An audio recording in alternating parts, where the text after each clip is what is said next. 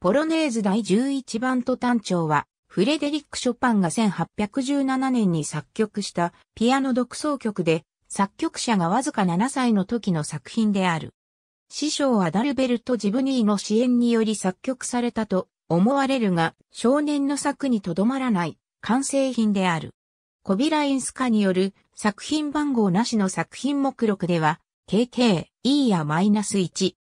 ヤン・エキエルは自身が肯定したナショナルエディションの作品番号のない作品リストにおいて1817年後半の作曲だと推定して変路長長 WN1 に次ぐ WN2 の番号を与えている。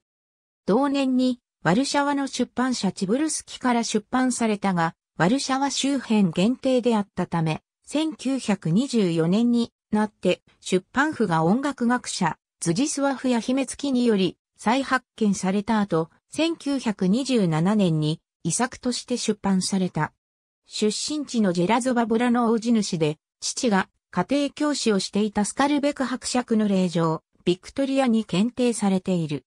ショパンは同じくポーランドの部局であるマズルカに対し、ポロネーズはワルツと同様生前にわずかしか発表しておらず、遺作は本作以降単純なものが多い。途端調、速度機構なし。三部形式でトリオは平行調。演奏時間は約2分。左手オクターブと右手手話音による堂々とした助走から両手の交差を伴った主題が出る。勇壮なポロネーズリズムと華々しい半音階が振動ぶりを発揮している。中間部は簡単な伴奏の上に優雅なアルペッチョが出て途中でアルベルティバスが登場する。しばしばモーツァルトに似ていると言われる。演奏自体は当然容易である。しかし、半音階進行をモーツァルトよりも前面に導入する後年の作風がすでに明らかである。